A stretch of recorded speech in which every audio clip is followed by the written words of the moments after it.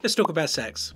Antidepressants can be life-saving medications for many people. They help to ease symptoms of depression, anxiety, as well as a range of other mental health conditions, but they're not without side effects. And one of the biggest sets of side effects, frustratingly, is sex. The most commonly prescribed antidepressants are the selective serotonin reuptake inhibitors. These medications work by increasing the availability of serotonin in key circuits in our brain that, through a variety of mechanisms, can lead to an alleviation and improvement in symptoms of depression but the problems they cause with sex low libido, delayed orgasm, erectile dysfunction. Now it's important to remember that depression can do all of these things too, so it's weighing up the risks and benefits of treatment versus no treatment, but this can occur as a side effect of SSRIs in about 70% of people that take them. And medicine is still so prudish that patients don't feel comfortable coming forward to talk about it, and doctors are rubbish at asking about it. For most people, this side effect is treatable and reversible. We can lower the dose, we can change it to an alternative medication that has a lower rate of these side effects, like bupropion or mirtazapine or agomelatine. Sometimes adding a second medication can target this side effect a little bit better.